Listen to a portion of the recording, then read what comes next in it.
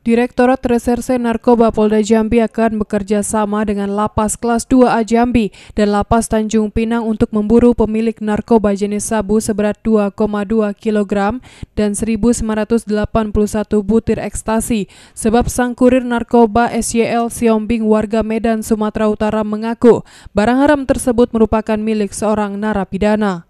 Dari hasil pemeriksaan sementara tersangka mengaku telah mendapatkan narkoba jenis sabu dan ganja tersebut dari salah satu temannya berinisial AL yang hingga saat ini keberadaannya masih ditelusuri petugas.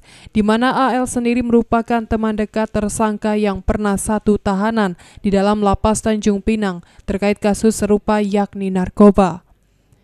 Direktorat Reserse Narkoba Polda Jambi Kombes Pol Eka Wahyudianta mengatakan, untuk menelusuri keberadaan pelaku yang masih DPO, tim saat ini masih melakukan koordinasi dengan pihak Lapas Jambi dan Lapas Tanjung Pinang untuk mencari keberadaan pelaku. Sampai saat ini kita mengembangkan ke orang yang menyuruh, dalam hal ini inisial AL, ya.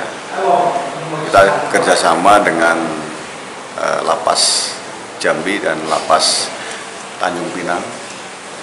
Kita menarik ke belakang data si AL tersebut untuk mencari ya uh, saudara-saudaranya atau bagaimana nanti kita dalami yang bersangkutan sekarang ada di mana. Asar Patahangi, Jack TV melaporkan.